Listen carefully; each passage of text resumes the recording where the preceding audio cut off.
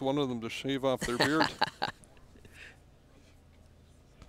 and Jackson Oh, will nice hit. slap that into center. That's, That's a base hit, and That's it got by him.